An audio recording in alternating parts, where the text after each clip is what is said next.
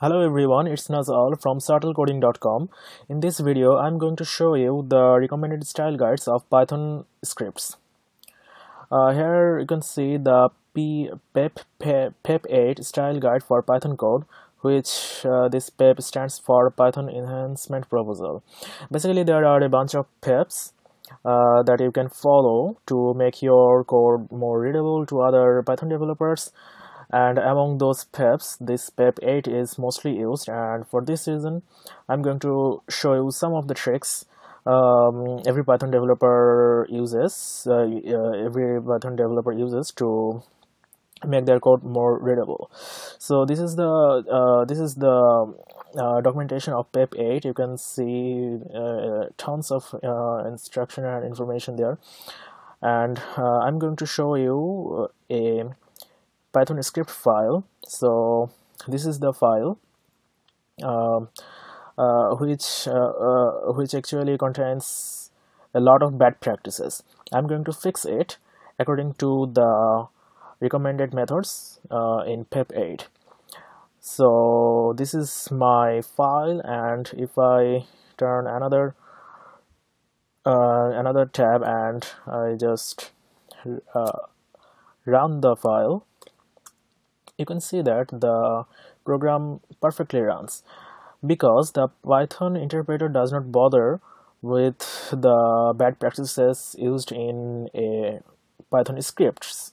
But as a developer we should bother because we write for developers. We, we write for human beings not for computers basically. So so I, uh, I start uh, fixing this file. Here you can see that this is a list object here uh, which is a my list uh, variable. And here you can see that uh, to name this list we have um, the camel case version of uh, naming convention has been used. But according to the pep uh, styling guide we should use the underscore version uh, which will um, this underscore has has to be used between two words and this class name. Class name cannot be started with a smaller letter or a lowercase letter. And these are good. And here you can see that the same camel version naming convention has been used but we cannot use for uh, function names and the variable names. Here is this is the function name and this is the variable name so we cannot use case version in python scripts and this this is good so far.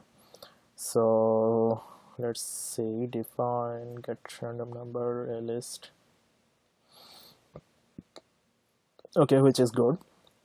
And here you can see that we should change the name to the underscore version. And okay so we have imported two full libraries on line number 16 we cannot do this.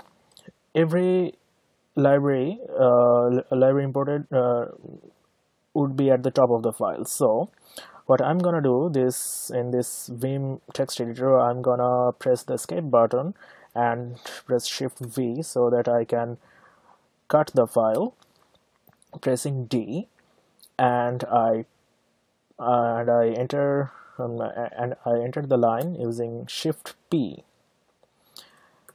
And okay enter some blank lines here. And also I cannot import two full libraries on the same line. I should uh, use two lines to do that. Uh, just importing one library at a time on one line here you can see we have some spaces there and every function uh, uh, before any uh, this is not a top order function uh, because this is a part of the class so we'll use only one blank line here. And these are the top level functions so we should use two blank lines here. Cool. Here you can see that the comma oh, okay okay we mistook one thing. Um, after every comma we have to have one spaces. So the same thing here. One space and of course the naming convention. And here's the thing. This is a very long line which we can modify by pressing uh, enter and moving those files according to this line.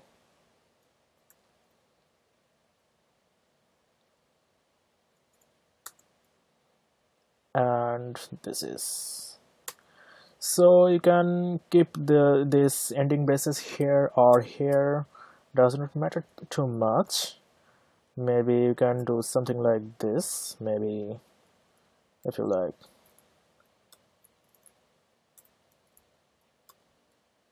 yes. Okay and mm, okay not too bad. And here as we changed the name at the top we have to do this at the end of the file also. Okay. Okay and so I just pressed double G and I get to the top of the file mm. okay. I think so far so good. Let's save it pressing colon and uh, lower w in lowercase. Okay. I saved the file and if I try to run the file cool. The file perfectly runs. So I can um, run this file against flake 8 which is a program that traces any styling error if that file has anything. Okay. So I can see that I have I still have two errors here. So what I'm gonna do I'm gonna start from the last one.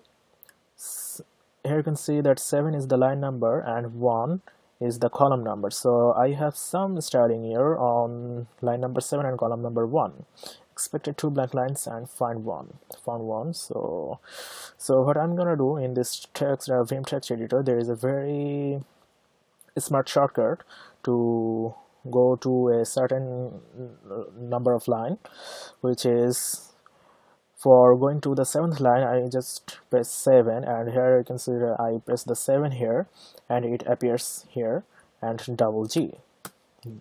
G twice. Okay.